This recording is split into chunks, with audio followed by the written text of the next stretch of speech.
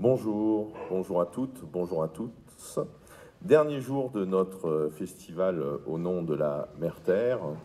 Et donc ce matin, j'ai l'immense plaisir de vous présenter euh, Philippe Guillemant. Philippe Guillemant qui connaît déjà ses écrits et ses propositions ici parmi vous. Un, deux, ah, les trois quarts, on va dire. Les trois quarts d'entre vous connaissez Philippe, super. Donc je n'ai pas besoin d'en rajouter plus. Non, si quand même, j'ai quand même dire quelque chose. Donc Philippe, il est physicien, il est ingénieur. Depuis, euh, depuis 2007-2008, euh, il mène une recherche sur le temps, la synchronicité et donc surtout sur la conscience. C'est un ancien, enfin c'est un spécialiste de l'intelligence artificielle et à travers ses travaux sur l'intelligence artificielle qu'il avait menés une dizaine d'années auparavant, il a abordé comment pouvait fonctionner l'esprit, comment pouvait fonctionner la conscience. Et ses travaux, ses découvertes, ses recherches son périple, pourrait-on dire, il l'a présenté au fil de ses ouvrages, euh, La route du temps, ensuite euh, La physique de la conscience, on a le pic de l'esprit, et puis aussi euh, Le grand virage de l'humanité. Salut Aruna. Et, donc Philippe aujourd'hui va nous parler du temps, de la conscience, et ben, de notre place ici, et aussi de notre place demain, de ce que nous pouvons semer aujourd'hui et qui aura une influence sur euh, le demain, ou en tout cas sur le maintenant qui va venir. Enfin bref, euh, le temps n'existe pas et Philippe Guillemant va vous en parler. Merci Philippe d'être avec nous. C'est un grand ami, c'est un bonheur de vous le présenter. Merci. Est-ce que le son fonctionne? Oui, vous m'entendez? Ben, Je suis enchanté d'être avec vous pour cette euh, nouvelle conférence improvisée sur euh, le temps essentiellement. Euh, en fait, je voudrais vous parler de ce qui permet, euh, ce qui nous permet aujourd'hui, grâce au progrès de la science, de croire dans l'existence de l'âme. C'est essentiellement ce message-là que je. J'ai un petit retour de son, bon, que je déploie depuis, depuis bientôt une quinzaine d'années. Et donc, je vais effectivement vous parler du temps, de l'espace, de l'illusion du temps et de l'espace.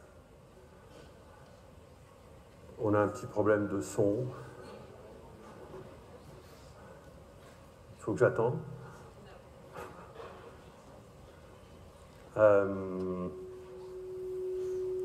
effectivement, on va attendre quelques secondes que les réglages.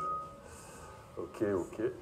Philippe, est-ce qu'on peut faire avec un autre micro? Je suis un peu battu avec euh, le micro-cravate qui n'était pas destiné à ça. D'accord. Est-ce que malgré tout, tu peux utiliser un, micro sur pied? Comme ça, tu as les mains libres. Oui. Je viens, je viens faire ça.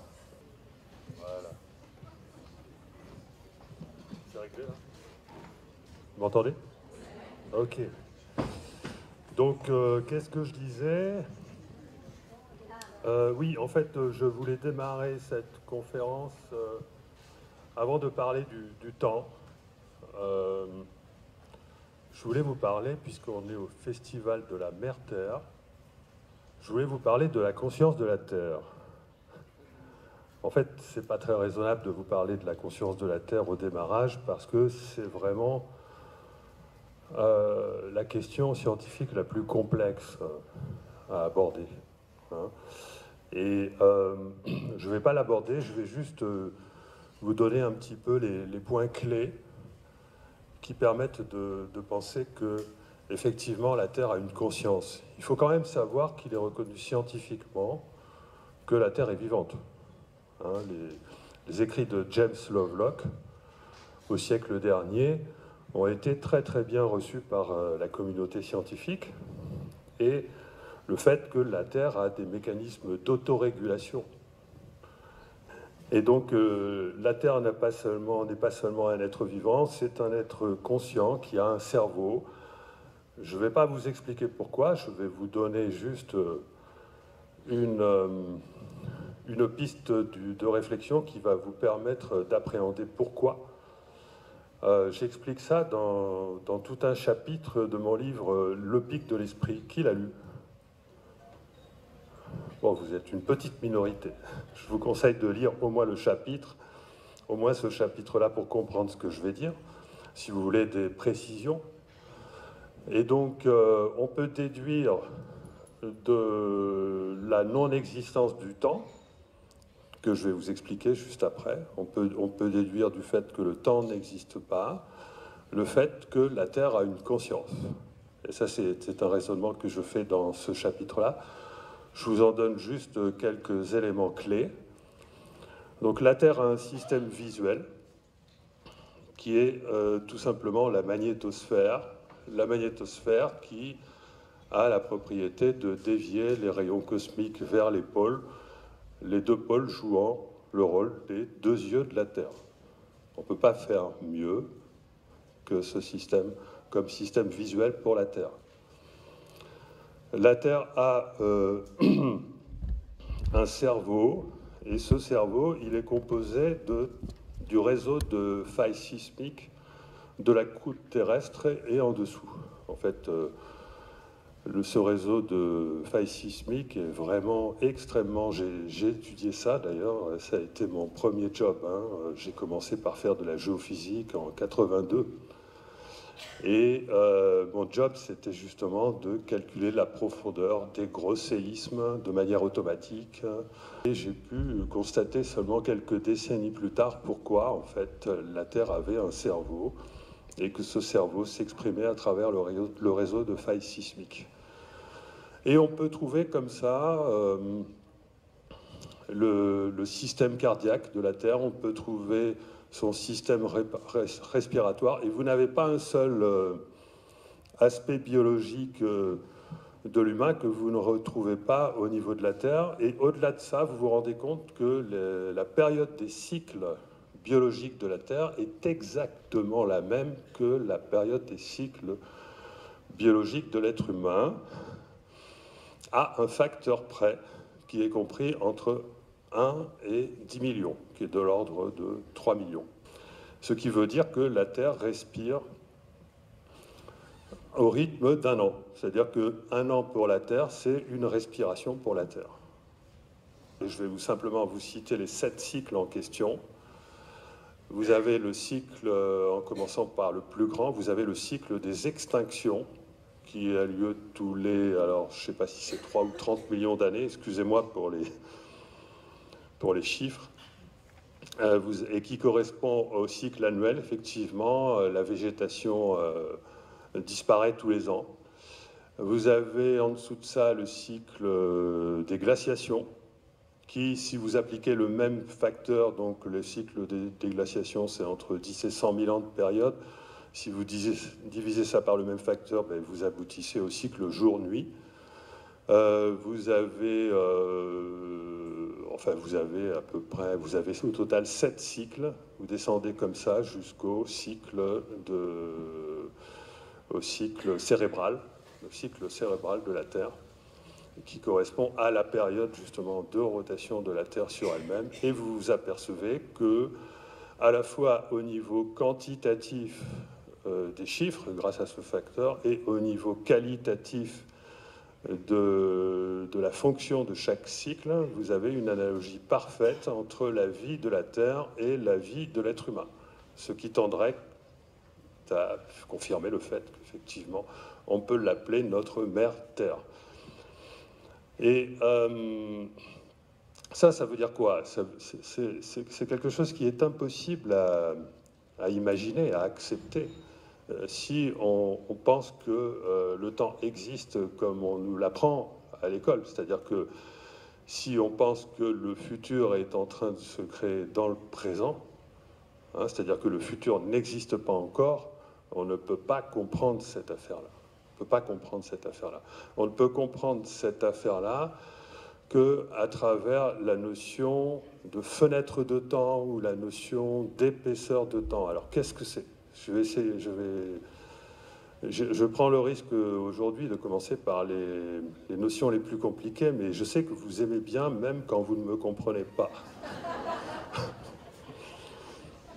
Alors, euh, mais c'est très important, la, notion d'épaisseur de temps, Donc on va partir de quelque chose qui est bien connu des physiciens et qui n'est pas encore admis par la société. Ça fait quand même des décennies qu'on sait qu'on a toutes les preuves du fait que le futur est déjà réalisé, mais jamais on en parle.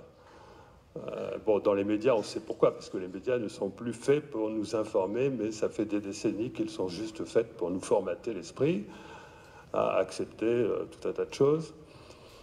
Euh, alors que c'est très très important, alors que c'est justement la clé de la compréhension de l'existence de l'âme, c'est de partir du fait que le futur est déjà réalisé. Après, on, va rentrer dans les détails de ce que ça a comme conséquence. Mais le futur est déjà réalisé, ça veut dire qu'on n'est plus obligé de dire que euh, la conscience est le produit du cerveau, par exemple. D'accord? Parce que alors il y a une autre notion en physique qui est très très importante et qui est parfaitement admise là aussi aujourd'hui, c'est que le futur a beau être déjà réalisé, il reste multiple. Alors on verra tout à l'heure comment solutionner ce mystère, hein, parce que c'est un grand problème pour, pour les physiciens, donc forcément pour vous aussi. Hein. Euh, Et c'est-à-dire que, et pourtant, nous vivons dans une, dans une réalité unique. Nous ne sommes pas en train de vivre en mode quantique, avoir plusieurs vies à la fois simultanées ou être en train de faire une chose et son contraire simultanément. D'accord? Ça veut dire que malgré tout, le présent, il a une fonction. Je ne parle pas de l'éternel présent, mais du présent, présent euh, au sens du temps physique, du temps des physiciens. Il a la fonction de transformer euh, une réalité fondamentalement multiple dans le futur en une réalité unique. Et effectivement, euh, des décennies de recherche ont, permis aux physiciens et même aux neuroscientifiques de conclure que, bon, ok, le temps n'existe pas. Alors qu'est-ce que c'est que le temps? Eh bien, le temps est produit par le cerveau. C'est-à-dire que notre sensation du temps qui passe est produite par le cerveau. Bon, le temps, bien sûr qu'il existe. Hein. Le temps, c'est la quatrième dimension de l'espace qu'il nous reste à parcourir euh, dans la vie. On, peut, on va dire ça. Il existe dans ce sens-là. Il n'existe pas dans le sens où il serait le créateur de notre réalité, et c'est ça qui va nous permettre euh, justement d'aboutir, mais ça ce sera plutôt vers la fin de ma conférence, à la notion d'existence de l'âme. Hein. Mais bon, allons-y doucement, parce que c'est important de comprendre que euh, finalement le temps, le temps présent, qui n'existe pas comme on le pense, existe dans le sens où il a la fonction de transformer des possibilités multiples pour ce qui nous concerne, c'est important, hein, les choix que nous faisons dans la vie, qu'ils soient conditionnés ou pas, le temps présent a la fonction de transformer ces multiples possibilités en une possibilité unique, parce que nous allons vivre une vie unique. Et euh, ce futur multiple existant déjà, il n'y a pas de raison de euh, considérer la conscience comme le produit du cerveau, puisque maintenant on va pouvoir libérer la conscience en disant que la conscience est liée à une épaisseur du temps, une épaisseur de temps à partir du présent. Alors je m'explique. Cette épaisseur de temps, elle est de l'ordre de la seconde. Hein euh, vous allez voir que à la fois la théorie et la pratique des expériences scientifiques confirment ce point. Mais je veux d'abord vous permettre de l'imaginer. Pour être conscient, nous avons besoin d'un certain temps. Imaginez que, alors je suis quelqu'un qui veut simuler la conscience sur l'ordinateur. Enfin, je veux simuler une vie, hein, pas, créer la conscience. Hein. Je veux mémoriser une vie sur, sur un ordinateur. Et je veux qu'on puisse euh, euh, savoir quelle est l'information relative à tout état de conscience, euh, à tout moment, à tout instant. Si vous voulez euh, mémoriser l'état de conscience d'une personne à un instant précis euh, dans le futur, par exemple, ou dans le passé, vous ne pouvez pas euh, le mémoriser sur un, temps, une durée qui est nulle, parce que sinon vous auriez zéro information. Vous, devez mémoriser cet état de conscience sur une certaine durée qui va permettre d'accumuler de l'information. Même un, appareil photo a besoin d'un temps d'exposition. Hein. Et donc, euh, pour, pour, pour, arriver à reconstituer un état de conscience, euh, vous avez besoin d'accumuler l'information relative à cet état de conscience sur une durée variable, mais qui est de l'ordre de la seconde. Pourquoi de la seconde? Parce que si c'était quelques millisecondes seulement, la vision ne pourrait pas exister. Si inversement c'était trop long, si votre temps d'intégration est trop long, s'il n'est pas de une seconde, mais s'il est de 10 secondes, vous ne pouvez pas voir les, mouvements rapides. Et pour ressentir les battements de cœur, il faut une seconde à peu près, etc., etc. Alors maintenant, vous imaginez une fenêtre d'une seconde. Cette fenêtre d'une seconde, où est-ce que vous allez la placer? Où est le cerveau? Où est le moment temps présent qui correspond à la fonction du cerveau? La fonction du cerveau qui est de créer le temps, c'est-à-dire de transformer le, champ des possibles en réalité unique. C'est le cerveau qui fait ça, tout le monde l'admet, tout le monde admet cette affaire-là. Où est-ce que vous mettez la conscience? Vous la mettez dans le passé ou vous la mettez dans le futur? Si vous la mettez dans le passé, vous ne pouvez pas avoir conscience de quoi que ce soit. Si vous la mettez dans le futur, là, vous êtes en mode quantique, puisque vous avez des réalités multiples, et là, vous avez une conscience qui devient possible, parce que, comme on le verra plus tard, la conscience, l'information de la conscience est de nature quantique. Ça, on a compris, les grands physiciens aujourd'hui comprennent le prix Nobel de physique euh, Roger Penrose est l'auteur de cette théorie de la conscience quantique, donc qui permet d'associer la conscience à une information essentiellement multiple. Bon, c'est un peu un abus de langage que de dire qu'une information multiple, des états superposés, c'est le quantique, mais il y a pire comme abus de langage. Et donc ça veut dire qu'il faut positionner cette seconde-là, qui permet d'avoir conscience, il faut la positionner euh, une seconde après l'instant présent correspondant à l'activité du cerveau. Déjà, la conscience ne peut plus être le produit du cerveau, rien qu'en remettant les choses en place, en tenant compte des résultats de la physique, rien que pour ça, mais il y a cent mille autres raisons. Mais ce n'est pas à ça que je voulais en venir. D'abord, je vais vous faire comprendre donc cette notion de, de conscience liée à une épaisseur de temps. Et donc à ce moment-là, qu'est-ce que c'est qu'une vie? Eh bien, une vie, c'est une fenêtre glissante d'une seconde qui se balade euh, sur le CD-ROM de votre vie, si on peut dire c'est un peu une tête de lecture de, largeur temporelle d'une seconde qui, euh, est en train de lire toute, euh, toute votre vie. Mais qu'est-ce qui se passe? C'est qu'en fait, cette fenêtre temporelle, elle n'est pas en train de lire une réalité unique, elle est en train de lire la réalité multiple qui peut être vécue à partir du présent. C'est-à-dire que la conscience fait les choix. La conscience a des choix à faire. La conscience peut être conditionnée mais elle a des choix à faire. On, quitte le mécanicisme, on quitte la pensée matérialiste, mécaniste, à partir d'un raisonnement extrêmement simple qui consiste à repositionner la conscience au bon endroit dans l'axe du temps. Et ceci est confirmé par les résultats expérimentaux euh, que sont les expériences de Libé qui a montré qu'il y a bien un décalage entre la conscience et le cerveau. Et ce décalage, c'est le fait que la conscience est en retard d'une seconde environ, ça peut être entre quelques dixièmes de seconde à plusieurs secondes. Lorsque vous demandez à quelqu'un de prendre une décision, par exemple, vous lui montrez euh, des photos ou n'importe quoi, euh, la personne doit simplement répondre oui ou non. Euh, si elle est OK, elle appuie sur un bouton, sinon sur un autre bouton, etc. Le moment où la personne a fait son choix arrive en moyenne, au minimum 300 millisecondes, enfin en moyenne euh, une seconde après l'enregistrement de ce choix qui se traduit par un, influx nerveux qu'on peut lire sur l'électroencéphalogramme.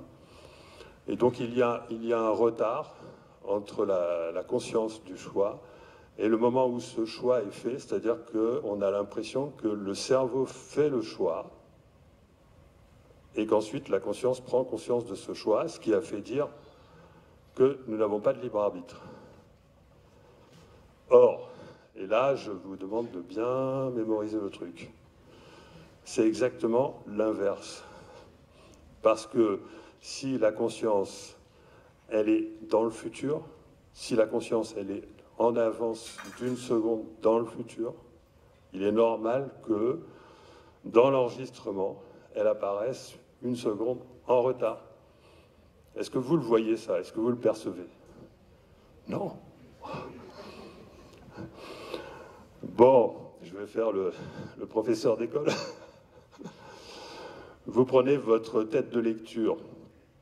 Votre tête de lecture, elle, voit, d'abord euh, l'influx nerveux, et ensuite elle voit la décision de la conscience. La décision de la conscience a l'air d'être en retard. Elle n'est pas en retard, elle est dans le futur. Oui, c'est un retard. Mais la conscience, elle est dans le futur. Vous prenez votre tête de lecture, votre tête de lecture, elle commence par lire l'influx cérébral, et ensuite, une seconde après, elle lit le choix de la personne. Ça veut dire quoi? Bien sûr, dans le nouveau paradigme, si vous conservez l'idée que du temps qu'on vous a fait, on a été lobotomisé à ce niveau-là hein, par notre scolarité. On a véritablement été lobotomisé par notre scolarité parce qu'on est terriblement conditionné à penser en fonction du temps linéaire. C'est ça notre problème. C'est ça qui crée l'effondrement de la société occidentale quand même au passage. Hein, donc, euh, parce qu'on peut tout ramener à euh, un système de croyance. Et notre système de croyance qui fait que notre société s'effondre en ce moment, il est erroné parce que notre conception du temps est erronée. Donc c'est quand même vachement important que je vous explique ça. Bon, alors j'y reviens dessus. Est-ce qu'on est OK que si on prend la tête de lecture du temps, qui existe déjà, euh, on rencontre d'abord la décision du cerveau et ensuite la décision de la conscience D'accord? Mais arrêtez de raisonner dans le temps linéaire, positionnez-vous hors temps. Ça veut dire quoi? Ça veut dire que la conscience est en avance dans le futur. Ça vous va? Ça, donc ça aboutit à la, conclusion contraire. Ça veut dire qu'au contraire, nous avons potentiellement un libre arbitre, puisque la conscience se situe là où le réel unique n'est pas encore constitué. La conscience se situe là où des choix multiples sont encore possibles. Bon, il y en a un qui comprend, je vois. euh, et du coup, vous, arrivez à comprendre ce que j'ai dit euh, au début de ma conférence. Pour la conscience de la Terre, c'est pas une seconde, c'est une année. Une année, enfin bon, ça dépend du cycle que l'on considère. Donc euh, la, Terre, elle, elle, voit déjà euh, tout ce qui va nous arriver. Mais enfin, elle ressent déjà, on va dire, dans sa dimension à elle, tout ce qui va nous arriver. Mais heureusement, elle ne va pas le ressentir dans tous ces détails. Donc si vous voulez, la Terre, ça fait longtemps qu'elle a résolu le problème du climat, elle. Hein Parce qu'elle vit dans une temporalité qui fait que, franchement, c'est pas... Euh, c'est à elle de gérer l'histoire. Elle a des mécanismes d'autorégulation autrement plus complexes que le seul bouton euh, poussoir du carbone. Vous voyez ce que je veux dire? Bon, euh, c'est-à-dire qu'on fait vraiment, on se prend vraiment pour des... On a vraiment un ego dimensionné, nous, humains, à penser que, hyper dimensionné, à penser qu'en régulant simplement un, seul paramètre, on va régler les problèmes de la Terre. Bon, bah, peut-être qu'elle va nous laisser faire justement pour... Euh, enfin bon.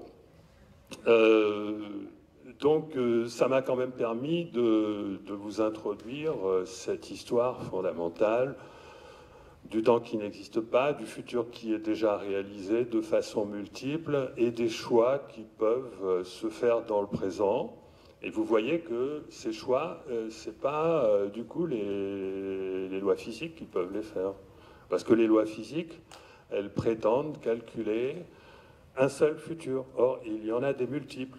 Alors que font les physiciens pour résoudre ce problème?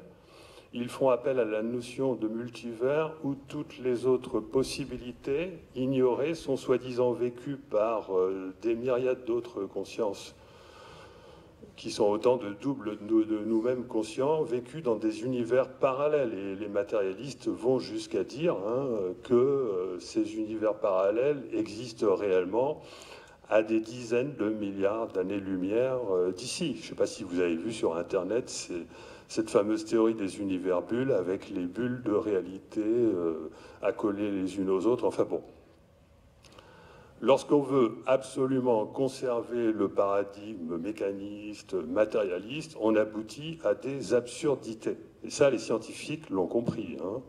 Euh, simplement, la science aujourd'hui est prisonnière d'un système qui fait que bon, bah, c'est quand même un peu difficile de penser autrement parce que le fossé à franchir, il est terrible. Il est terrible s'apercevoir du jour, au lendemain qu'on n'a rien compris au fonctionnement de la réalité, c'est quand même un peu traumatisant. Euh, et donc évidemment, ce multivers nous appartient et que c'est un multivers qui correspond à l'espace pour nos choix. Et maintenant, je vais essayer de vous l'expliquer avec différentes métaphores. Donc la première des métaphores qui, convient pour parler du futur qui existe euh, déjà et qui est multiple, c'est l'arbre de vie. L'arbre de vie qui a souvent été utilisé, c'est-à-dire que ce qui est en train de nous arriver dans le présent paraît effectivement mécanique, mais c'est parce qu'on est dans le tronc de l'arbre et puis il apparaît ensuite les branches et donc là il y a des choix à faire. C'est-à-dire qu'une vie consiste finalement à faire des choix successifs jusqu'à arriver à une feuille de l'arbre. Et là, on aura fait euh, peut-être une dizaine ou une vingtaine de, choix, et qui correspondent aux choix fondamentaux euh, qui vont nous emmener vers un futur différent, puisqu'il existe des choix qui vont nous ramener vers le même futur, mais le choix qu'on peut associer au libre arbitre, dans ce cas-là, ça consiste à euh, attribuer à la conscience la capacité de choisir euh, la feuille qui va correspondre au moment où elle va disparaître de cette euh, réalité, à sa mort. Donc ça, c'est la, première, la première métaphore. Bon, elle n'est pas pas hyper parlante. On peut, on peut trouver une métaphore un petit peu plus judicieuse en disant que ce n'est pas nous qui nous déplaçons vers notre futur, ce n'est pas nous qui montons dans, l'arbre et en choisissant des broches, c'est le futur qui vient vers nous. Parce que là, on, enlève cette notion de déplacement et c'est plus conforme à la réalité, puisque notre futur est déjà réalisé. On peut dire que finalement tout comme, tout se passe comme si notre futur vient vers nous. Et là, on comprend beaucoup mieux et on peut reprendre euh, la, métaphore, hein. on peut reprendre la, même métaphore de, l'univers multiple en imaginant qu'on est euh, dans une rivière et qu'on ressent le flot euh, couler et que nous, on est en train de remonter la rivière et qu'on va avoir des choix à faire jusqu'à remonter à la source. Et comme il y a des myriades de sources, il y a des myriades de futurs possibles. Donc ça, c'est encore une autre façon de voir qui est plus authentique parce que elle, euh, elle correspond plus, elle est plus objective, pardon, parce qu'elle correspond plus à la réalité que euh, dans laquelle nous sommes plongés, parce que nous allons voir que c'est une illusion et qu'à partir du moment où c'est une illusion, la meilleure façon de la considérer, c'est de dire nous sommes plongés dans une réalité dont le futur vient vers nous. Et à certains moments, nous avons des choix à faire. D'accord? Encore une autre métaphore. Euh, et là, je vais introduire quand même mes travaux euh, de physicien. J'ai passé euh, des années, des années de ma carrière, pas loin d'une dizaine d'années, au moins 4-5 ans, à faire des calculs de billard. Euh, des calculs de billard avec euh, une dizaine, une centaine, des milliers de poules, etc., euh, pour voir, pour étudier la trajectoire des boules de billard, parce qu'on utilise le billard souvent pour expliquer pourquoi tout est mécanique. Or, j'ai voulu prendre l'image du billard pour expliquer pourquoi rien n'est. Parce qu'en en fait, qu'est-ce qui se passe avec le billard? C'est que vous avez vous devez, vous devez euh, si vous voulez faire des calculs qui sont valables pendant un certain temps, vous devez prendre euh, comme condition initiale de vos boules euh, des, des, conditions d'autant plus précises que vous voulez faire le calcul longtemps, d'accord Parce que vous avez un phénomène chaotique dans le billard, vous avez une dispersion de l'information, euh, et vous arrivez très rapidement, et ça c'est méconnu du public, à des situations où vous ne savez pas si une boule est rentrée en collision avec une autre boule ou si simplement elle l'a frôlée. Et vous avez beau, euh, et à partir du moment où vous avez ça, euh, vous en avez plein d'autres et vous avez une croissance qui est pire qu'exponentielle, qui est absolument catastrophique. Pire qu'exponentielle, c'est vraiment catastrophique du nombre de possibilités pour une boule euh, de se retrouver à n'importe quel endroit. Vous avez une croissance absolument incroyable. Et, si vous, ce que j'ai passé mon temps à montrer, entre autres, c'est que même si vous descendez à une précision euh, considérable, l'échelle de Planck, 10 puissance moins 35 mètres, même si vous descendez en dessous de la précision de l'univers lui-même, vous n'enlevez pas le multivers de possibilités pour une boule de billard. D'accord? C'est-à-dire que vous avez le même multivers. Ça ne change rien. Le fait d'augmenter la précision sur les conditions initiales ne fait que retarder un petit peu seulement le moment où vous avez l'explosion où la mécanique s'arrête. C'est-à-dire que la mécanique, elle est valable, mais seulement pendant un certain temps. Ce qu'on nous a appris à l'école, le déterminisme, la causalité, le mécanicisme, la, matière qui évolue au cours de temps, tout est faux si vous prolongez au-delà d'un certain temps. Et ça, c'est, euh, on peut l'anticiper avant mes travaux aussi. Hein. Enfin, moi, je l'ai montré quand même de manière extrêmement simple et claire. Et j'ai publié, bien sûr, là-dessus. Et donc, le, résultat de ces travaux, ces travaux ont apporté bien plus que cette simple euh, constatation. Ces travaux ont apporté euh, l'obligation de rajouter des dimensions, ce qu'on appelle des dimensions, à l'espace-temps pour pouvoir à nouveau rentrer dans une mécanique déterministe. C'est-à-dire que si on veut restaurer le déterminisme en science, si on veut revenir dans ce fameux paradigme, on est obligé d'introduire de l'information supplémentaire qui est relative à la structure de l'espace lui-même. Alors là, je m'arrête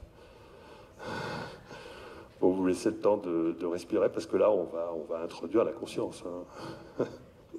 Donc on va y aller mollo. Euh, et oui, c'était pas ça que je voulais dire d'ailleurs. Je voulais euh, donc ces calculs de billard m'ont permis de valider la métaphore du GPS pour euh, qu'on arrive à comprendre notre futur, notre vie. Qu'est-ce qui se passe dans votre vie? Comment allez-vous pouvoir maîtriser votre futur? Comment allez-vous pouvoir euh, faire arriver la magie dans votre vie? Ah, ah. Et donc, voilà, pour ça, il faut comprendre que puisque notre futur existe déjà, eh bien pour arriver à concilier ça avec tout ce que j'ai déjà dit, il faut que notre futur soit perpétuellement en train de changer. C'est-à-dire qu'à tout moment, euh, notre futur est déjà réalisé. On peut même s'y balader. Hein. C'est quasiment démontré. On peut, on peut voyager dans le futur. Bon, je ne vais, vais, pas expliquer pourquoi. Euh, mais il est perpétuellement en train de changer. C'est-à-dire qu'il est capable de changer pour deux raisons. D'une part, parce que pour une raison X, notre destination change, par exemple la date de notre mort change, le lieu, etc. Ou alors dans le futur, on ne vit plus avec la même personne ou on n'a plus le même job. C'est-à-dire qu'à un moment donné, dans notre futur, on a un job, et puis euh, hop, Quelques, un jour après, ah ben non, c'est plus le même, parce qu'entre-temps, il y a eu une bifurcation, et à cette bifurcation, on a décidé de démissionner. Vous voyez le truc? Et là, ça veut dire quoi? Ça veut dire qu'il y a eu un changement dans la, trajectoire de votre GPS. C'est-à-dire que ce qui s'est passé, c'est qu'au moment où vous avez démissionné, vous êtes arrivé à une bifurcation, votre futur était de garder le job, et là, vous n'avez pas fait ce, que, ce qui était euh, indiqué comme euh, trajectoire, ce qui était prévu par l'univers pour vous. Vous avez fait quelque chose de, différent. Vous avez peut-être suivi la voie de votre âme ou je ne sais quoi. Enfin, c'est pas important de comprendre ça maintenant. Et ce qui est important de comprendre, c'est que l'univers a recalculé. D'accord? Et donc, on peut très bien imaginer une physique un petit peu élargie euh, moi, je suis capable de, l'implémenter quasiment. Hein. Bon, il me faudrait des ordinateurs beaucoup plus puissants. Mais vous pouvez très bien imaginer une physique, donc une science élargie, euh, dans laquelle, dans l'avenir, les ordinateurs vont calculer ce genre de choses. C'est-à-dire, ils vont calculer votre vie, euh, simplifiée, et puis euh, ils vont, on va, vous allez voir des démonstrations du fait qu'en agissant sur un paramètre, hop, la personne a changé sa vie, c'est-à-dire qu'au moment où elle est arrivée à la bifurcation, elle a fait un choix et du coup, elle n'a pas eu le même futur que celui qui était prévu. Ça, c'est grâce à l'existence des bifurcations. Les bifurcations, on sait qu'il y en a à toutes les échelles. Il y en a à l'échelle quantique, il y en a à l'échelle cosmologique. J'ai montré qu'il y en avait à notre échelle grâce au, billard. Et ça veut dire qu'il y a des moments dans la vie où vous faites des choix et ces choix n'ont aucune importance. il y a des, parce que votre futur reste la même. Et il y a des moments où vous faites des choix. Et ces choix, par contre, euh, vont tout changer. En général, lorsque ces choix changent tout, euh, au moment de la bifurcation, il y a un petit messager qui se pointe. Ça s'appelle le kéros. C'est-à-dire que, par exemple, euh, vous êtes dans une foule je donne parfois cet exemple-là. Vous êtes dans une foule et il y a un petit rien qui va venir faire basculer votre vie. Un petit rien. Dans le billard, ce sont des petits riens. il y a plein de petits riens qui, dans la vie, peuvent faire basculer votre vie. C'est par exemple un papillon qui passe devant vos yeux, qui vous détourne le regard et vous apercevez une personne. Et là, il y a trois cas. Donc, euh, soit effectivement, le messager est passé, il vous a détourné le regard et vous restez un peu dans le vide, vous ne détectez pas. Vous ne détectez pas le, le kéros. Euh, vous n'avez pas vraiment pris conscience du passage du papillon. Soit effectivement, disons, vous ne détectez pas la personne vers laquelle est orienté votre nouveau regard, ou alors vous la détectez mais vous n'en tenez pas compte, ça c'est le deuxième cas. Ou alors, vous détectez la, personne euh, indiquée, enfin, bon, qui, voilà, sur laquelle votre regard a été détourné, et vous décidez de la rencontrer, et ça change votre vie. Il y a... Je ne suis pas capable de, de, dire, de vous dire combien de cas de ce genre euh, peuvent se euh, se présenter à vous euh, dans votre vie et qui vont effectivement changer votre vie pour un, pour un bon bout de temps. Je suis incapable, mais ce qu'on appelle les synchronicités, c'est basé là-dessus. Et pas seulement les synchronicités, ce qu'on appelle les intuitions, c'est basé là-dessus. C'est-à-dire que il y a des moments dans la vie où quelque chose, une intuition, une synchronicité, le passage d'un kéros, tout ça c'est la même chose, vont vous présenter la possibilité de faire basculer votre vie vers un nouveau futur. Alors comment est-ce que ça peut arriver ça et qu'est-ce qu'il faut faire pour que ça nous arrive dans le sens du meilleur? Voilà la question. Alors pour ça, et je suis désolé, mais il faut en revenir au calcul de billard. Donc, euh, vous êtes d'accord? On va essayer, on Bon, on en revient au calcul de billard. Donc euh, je, regarde mon billard, je regarde les, trajectoires de mes boules, je vois ce qui se passe aux bifurcations. Dans le cas de mon billard, une bifurcation, c'est quand il y a une incertitude non résolue sur la question de savoir si une boule a frôlé ou si elle a choqué. Je fais descendre ça, cette incertitude vers le plus petit, le plus petit, le plus petit. Ah ben ça a toujours lieu, c'est juste un peu retardé. Et après, qu'est-ce qui arrive quand je descends vers le plus petit? Ben, J'en arrive, euh, ben, il n'y a plus d'espace. Alors je ne sais pas si je vais avoir le temps de vous expliquer pourquoi l'espace n'existe pas euh, et que c'est une construction de la conscience et qu'on peut l'assimiler à la conscience. Je ne vais pas le faire tout de suite, peut-être pas le faire du tout. Je vais vous dire simplement que donc euh, en allant vers descendant cette incertitude vers l'infiniment petit, on en arrive finalement à euh, quelque chose qui est relatif aux vibrations de l'espace. C'est-à-dire que les objets n'ont plus l'information qui permet de descendre en dessous. Et, donc, il y a un moment donné, je ne peux plus faire de calcul, puisque euh, il n'y a même plus de matière. La matière n'est plus définie. On en arrive à une situation qui est totalement quantique. C'est-à-dire que les objets pas, les objets dans l'espace, la matière dans l'espace n'a pas une précision infinie. L'espace n'existant pas, l'espace est créé à partir des relations entre des relations entre les objets qu'il contient.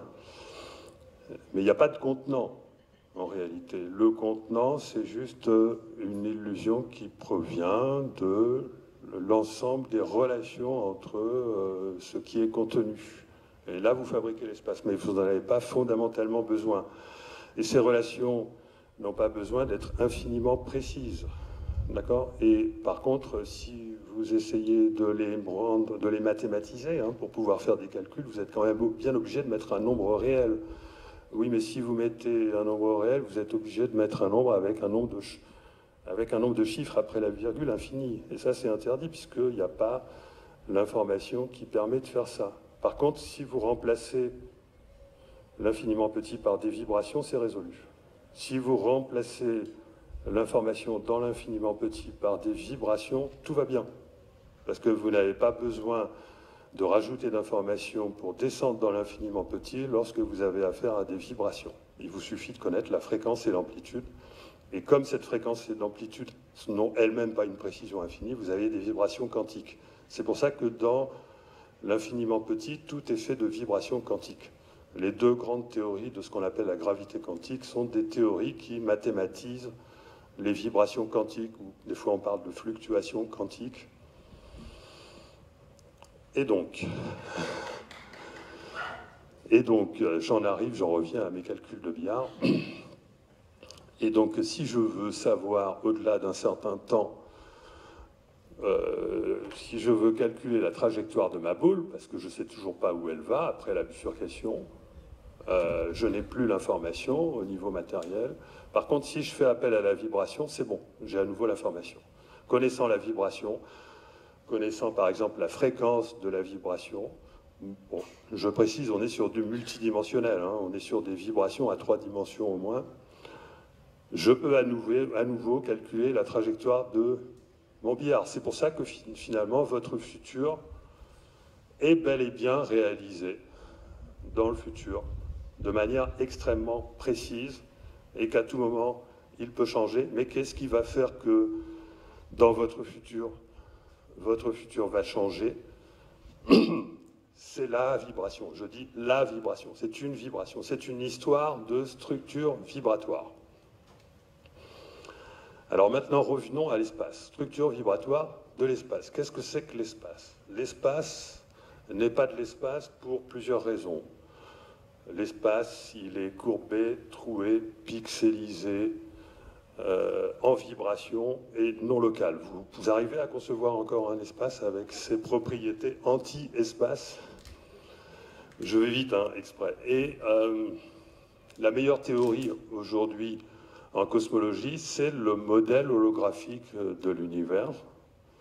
C'est une théorie qui impressionne terriblement les, physiciens. On n'est bien sûr que sur de la théorie, c'est pour ça qu'on n'en fait pas un foin. Hein.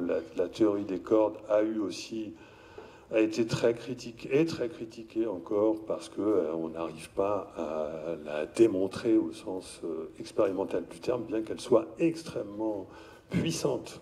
C'est-à-dire que la théorie des cordes, elle est mathématiquement extrêmement puissante, elle permet de résoudre toute la matière. Et la théorie, euh, le modèle holographique est lui aussi extrêmement puissant. Et il contient en son, sein, en son sein la théorie des cordes en plus. On est sur des théories extrêmement puissantes mathématiquement, mais qui sont encore indémontrables parce qu'on n'est pas capable de descendre avec des appareils de mesure à un niveau de précision qui permet d'aller euh, déceler ces fameuses vibrations de l'espace. D'accord? Bon, eh oui, mais ça veut dire qu'on ne sait pas tout, mais n'empêche que la théorie est très puissante. donc moi, je vous propose d'écouter la théorie. Et que dit la théorie des cordes, par exemple? La théorie des cordes vous dit que nous vivons dans un multivers qui contient 10 puissance 150, un truc inimaginable un nombre de possibilités de mener votre vie va, que les physiciens matérialistes vont positionner à des centaines de centaines de milliards d'années d'ici, mais qu'en réalité, qui sont en fait tous superposés, ce sont, c'est juste votre arbre de vie, hein, votre arbre de possibilités. Et que dit la théorie des cordes? Elle, elle dit que ce qui sélectionne votre vie, ce qui va déterminer ce que vous allez vivre, c'est une structure vibratoire. Structure vibratoire, ça s'appelle calabio, je ne vous embête pas avec ça. C'est-à-dire que vous changez la structure vibratoire fondamentale de, l'espace et vous changez tout le, futur. C'est-à-dire que vous retrouvez ce que j'ai trouvé, enfin moi j'ai retrouvé plutôt par mes calculs ce que la théorie des cordes avait trouvé. C'est-à-dire que c'est une structure vibratoire en lien avec un espace qui n'est pas de l'espace, qui détermine votre futur. Et qu'est-ce que c'est qu'un espace qui n'est pas de l'espace? Qu'est-ce que c'est que l'espace si ce n'est votre conscience de l'espace? Vous ne trouverez pas d'autre moyen de définir un espace qui a été détruit par la physique la physique a détruit le temps, elle a détruit l'espace, et je ne vous explique pas pourquoi. Elle avait déjà depuis longtemps détruit la matière. Hein. La matière, le modèle de bord ne tient pas la route. La matière se réduit elle aussi à des vibrations. Qu'est-ce qui reste? Alors, il reste l'énoncé, le bon énoncé est le suivant. L'espace, le temps et la matière n'existent pas réellement. L'espace, le temps et la matière sont des constructions de la conscience à partir d'un univers d'informations. Que sont ces informations? Ce sont les informations qui arrivent à notre conscience. Les informations du futur qui arrivent à notre conscience sont reconstruites par la conscience, sont interprétées. C'est un, la conscience interprète les informations de l'univers comme étant de l'espace, du temps et de la matière. C'est-à-dire que l'objectivité, c'est l'inverse de ce qu'on pensait. L'objectivité, c'est de dire ça, c'est de dire que le temps, l'espace et la matière n'existent pas, mais que la conscience interprète ces informations sous la forme d'espace, de temps et de la matière. Et il y a eu des preuves. On a des preuves. Vous pouvez très bien vivre, vous pourriez très bien vivre dans une simulation les expériences de réalité augmentée, les casques de réalité augmentée, le film Matrix, etc., etc., euh, sont des expériences de pensée. Matrix est une expérience de pensée. les, casques de réalité augmentée, ils sont en train d'être de plus en plus perfectionnés. À un moment donné, la personne qui met ce casque ne fera même plus la différence entre la réalité qu'elle va vivre et celle qu'elle va vivre à son réveil, elle se demandera euh, quel est le vrai réel? En fait, il n'y a pas de vrai réel, les deux sont réels. Et notre réalité, là, que vous pensez réelle, c'est juste euh, qu'elle est un peu plus réelle que les autres parce qu'elle est collective. Il se trouve que nous vivons dans une réalité qui est une construction collective, c'est tout, il suffit de comprendre ça. Et ainsi, le réel n'a pas besoin d'être réel pour nous paraître réel. Et c'est la Maya, c'est l'illusion de la réalité du bouddhisme. Le bouddhiste, les bouddhistes nous enseignent ça depuis euh, une éternité, mais pas que. Et si vous comprenez ça, ce n'est qu'après avoir compris ça et tout ce que ça implique, qu'on sera capable ensuite euh, de rentrer en contact avec nos voisins. Mais tant qu'on n'a pas compris ça, ça veut dire qu'on est comme des petits-enfants à la maternelle. Ça ne change rien au fait qu'une table est une table, que je vous vois, que je vais me comporter euh, dans ma vie de manière euh, absolument normale. Je ne vais pas devenir dingue parce que j'ai compris ça. Ça va juste me permettre de comprendre que, par exemple, on n'utilise pas des fusées, pour voyager d'une planète à l'autre. Ça va juste aider à comprendre ça. Bon, non mais là je vais un peu loin. Euh, donc j'en reviens à ce que je disais. Donc l'espace n'est pas de l'espace. L'espace, il est lié à notre conscience de l'espace. Donc lorsqu'on fait vibrer l'espace, on fait vibrer la conscience. Et donc euh, la conscience, d'ailleurs, on savait qu'elle avait deux aspects, dont l'un des deux, on ne l'explique pas. Et donc on l'ignore. Alors le premier aspect de la conscience qu'on explique, c'est le mental ce qui fait dire que l'intelligence artificielle est intelligente, parce qu'on oublie le deuxième aspect de la conscience qui est l'émotionnel. Toute notre science est fondée sur l'idée que, bon, est fondée sur le fait qu'on a tout simplement refoulé la conscience, qu'on ne considère que le cerveau et que si on essaye de comprendre le cerveau, on n'en voit que l'aspect mental. Le cerveau, il est constitué de réseaux de neurones. À partir de ces réseaux de neurones, et moi j'en ai fabriqué, hein, j'ai fabriqué des réseaux de neurones mathématiques euh, dans ma carrière. J'ai fabriqué d'ailleurs les, premiers systèmes d'intelligence artificielle à l'époque, euh, c'était au tournant des années 2000, euh, bien avant les, systèmes qui sont apparus dix ans après.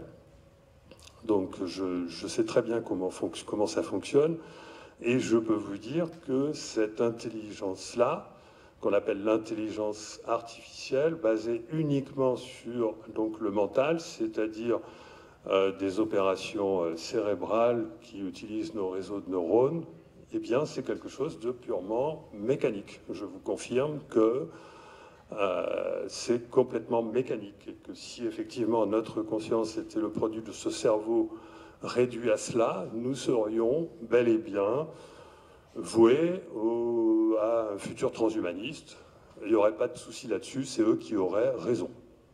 Il, faudrait, il faut juste qu'on s'adapte à ça, parce que c'est comme ça. Maintenant, si on, on accepte de considérer le plus grand mystère de tous les temps, si on accepte de le regarder en face. Le plus grand mystère de, tous les temps, qui est pourtant le plus évident, hein, c'est ce qu'on appelle le problème des calia en neurosciences. C'est-à-dire qu'on n'a jamais expliqué comment euh, les sens peuvent fabriquer la perception des sens. Comment la longueur électromagnétique du rouge fabrique la sensation du rouge. Comment un cerveau visuel fabrique la vision. On a, vous voyez, toutes nos perceptions sont des mystères pour la science. La science n'a jamais résolu ce problème-là. On vous fait croire que, mais la science n'a jamais résolu la question de savoir d'où viennent nos perceptions. La science a simplement identifié les canaux perceptifs. D'accord? Mais on ne sait pas, et en plus, euh, il y a des bugs. C'est-à-dire que par exemple, euh, et ça c'est moi qui m'en suis rendu compte, mais vous savez que j'ai été matérialiste et que du coup j'ai pensé que j'avais tort pendant dix ans. Mais je me suis rendu compte très vite, en fabriquant des réseaux de neurones artificiels avec des systèmes de vision qui marchaient très bien, qui voyaient très bien, qui étaient capables de détecter très bien les choses, que euh, la mémoire relative au réseau de neurones que j'avais développé ne ne pouvait pas se trouver dans euh, mes réseaux de neurones. C'est-à-dire que si j'essayais de reconstruire l'image ou la vidéo de ce que mon système visuel avait, euh, avait détecté, si j'utilisais si l'information qui est à l'interface entre les synapses et les neurones, puisqu'on pense aujourd'hui que c'est là que se trouve la mémoire, ben, je m'apercevais que cette information était distribuée d'abord, elle n'était pas localisée, ça effectivement c'est le cas, on s'en aperçoit, mais que en plus elle permettait absolument pas de remonter à l'image initiale. Et je trouvais que mes réseaux de neurones, malgré qu'ils soient très performants, il y avait un truc qui déconnait. Euh, ça ne permettait pas de comprendre le cerveau puisque j'imaginais que la mémoire se trouvait dans le cerveau. À l'époque, j'imaginais que la mémoire se trouvait dans le cerveau. Et donc je me suis dit, je me suis. J'ai fait un truc qui est trop simpliste. Le cerveau, c'est certainement beaucoup plus compliqué, mais je ne savais pas comment le cerveau pouvait se débrouiller avec des réseaux de neurones pour arriver à mémoriser l'information. Il a fallu que j'avance beaucoup dans mon itinéraire de vie euh, initiatique, euh, d'une certaine manière, pour comprendre que la mémoire n'était pas dans le cerveau, que ne pouvait pas être mémorisée dans le cerveau, que c'était autre chose. Et une deuxième raison, c'est que je me suis rendu compte qu'il était impossible à partir du moment, mais cette fois-ci pour des raisons de physique fondamentale, à partir du moment où un, rayonnement, une, image, euh, euh, la, vision de l'environnement extérieur pénètre votre cerveau et soi-disant euh, fabrique la conscience grâce à l'interaction entre les différentes aires visuelles, eh bien ça, on pouvait calculer, enfin faire une expérience de calcul qui permettait de conclure que suite à cette émergence de la conscience par interaction entre les aires visuelles, vous ne pouvez pas reconstruire l'information visuelle parce que l'information visuelle est perdue. Un cerveau ne peut pas fabriquer la conscience. Un cerveau ne peut pas. C'est quelque chose. Moi, j'en suis certain. Je n'ai pas fait de publication là-dessus. Je vous le dis, c'est juste mon expérience. Et donc, euh, tout ça, c'est pour dire qu'on a oublié quelque chose d'absolument fondamental. C'est que, évidemment, nos perceptions sont liées à la conscience et ne sont pas fabriquées par le cerveau. Le cerveau est un filtre qui canalise les informations de l'extérieur, du futur, qui les canalise pour la conscience et c'est la conscience qui perçoit. Et en plus, c'est logique parce que si l'espace, c'est la conscience, la lumière, elle se propage dans quoi? Elle se propage dans l'espace, dans le vide de l'espace. Elle se propage dans la conscience. Il n'y a pas besoin du cerveau. Les expériences de mort imminente nous le montrent. Lorsqu'une conscience quitte son corps après avoir vécu une expérience de mort imminente, elle continue à voir. La conscience continue à voir, continue à entendre, continue à percevoir. D'accord? Il faudrait peut-être un petit peu tenir compte euh, du réel. Donc aujourd'hui, les scientifiques euh, ne tiennent pas compte du réel. Ils ne sont pas assez rigoureux en général. En fait, c'est l'institution scientifique hein, qui fait ça. Euh, on, a, mis les, philosophes au placard. Il faut faire revenir en force les philosophes parce qu'on a besoin d'eux pour redevenir réalistes, pour retrouver les pieds sur terre. Avoir les pieds sur terre, c'est aujourd'hui comprendre que la conscience ne peut pas être le produit du cerveau en tenant compte des résultats de la science. Donc, j'en reviens à ce que je disais. La conscience, elle est faite essentiellement de deux pôles, et c'est logique parce que la conscience, c'est l'espace-temps. Donc elle est faite d'un pôle relatif à l'espace qu'on arrive à comprendre, et elle est faite d'un pôle relatif au temps, qui est la vibration. La vibration, c'est à la base de tout, c'est la base de toutes nos perceptions. Et la conscience a trois niveaux, mais ça, je ne vais pas avoir le temps de, de vous l'expliquer, je ne sais pas exactement à combien j'en suis rendu là. Voilà. Euh... Ouais, bon, il faut que je termine bientôt là. Donc la conscience a trois niveaux et euh, ça veut dire qu'il y a trois niveaux de perception. Alors il y a trois niveaux au niveau du mental, mais je ne vais pas insister là-dessus. Il y a trois niveaux au niveau des perceptions. Il y a le niveau physique qui correspond effectivement à nos perceptions, euh, les sens, mais aussi nos sensations, euh, tout ce qui passe à travers notre corporalité, tout ce qui est canalisé à travers ou perçu à travers notre corps. Donc ça, ce sont les perceptions, premier niveau. Il y a le deuxième niveau qui correspond à notre vraiment la conscience du temps présent et qui passe à travers nos sentiments, nos émotions. Et il y a le troisième niveau qui est un niveau plus, euh, plus éthéré, plus spirituel, on va dire, et qui correspond à nos intuitions. C'est-à-dire que nous avons un 5 minutes. D'accord, merci. Et donc tout ce qui est de l'ordre de... Toutes ces choses-là ne sont pas réductibles au cerveau. L'intelligence artificielle, notre compréhension du cerveau, les neurosciences ne travaillent que sur l'aspect mental, euh, les réseaux de neurones, etc. Et à partir de là, on a coupé euh, la moitié de la réalité, on a laissé tomber la plus importante. On a laissé tomber en particulier l'intelligence émotionnelle. Il y a deux formes d'intelligence. Il y a l'intelligence du mental qui a réussi à s'imposer parce qu'elle est scientifique et qu'elle permet d'aboutir à des consensus, alors que l'intelligence émotionnelle ne permet pas d'aboutir à des consensus. Lorsque vous dites à quelqu'un Ah, mais moi je ressens ça, euh, vous n'êtes pas capable de lui expliquer, donc vous ne pouvez pas arriver à un consensus. Et donc c'est contraire à la science. C'est-à-dire que tout ce qui est, tout ce qui est de l'ordre du ressenti, bien que ce soit très objectif, c'est quelque chose qui a été éliminé par la science. Et donc, du coup, on a perdu la moitié de, la plus importante de, l'univers, du monde, pour arriver à comprendre. On a perdu le, fait que euh, nous avions une autre forme d'intelligence, et cette intelligence, en plus, c'est la plus importante parce que c'est l'intelligence créatrice. Et c'est ça, maintenant, ce que je veux vous dire maintenant qu'il faut vous rappeler, ce dont il faut vous rappeler, c'est que vous vous souvenez que je vous ai expliqué que vous créez votre futur avec euh, votre structure vibratoire. Il s'agit bien d'une structure vibratoire, émotionnelle, sensitive, intuitive, tout ce qui ne peut pas être expliqué, hein, tout ce qui est de l'ordre du ressenti. D'accord? C'est cette structure vibratoire-là qui adresse votre futur. Et quand, par-dessus le marché, mais ça on va en parler tout à l'heure avec Aruna, quand, euh, par-dessus le marché, euh, cette structure vibratoire parvient à se relier avec l'essentiel de son être, l'essentiel de son être qu'on appelle le soi, donc on va parler du grand mystère du soi tout à l'heure, eh bien, le soi, lui, est capable, notre âme, elle, elle est capable. Alors, je n'ai pas défini l'âme, mais je le ferai avec Aruna. Hein.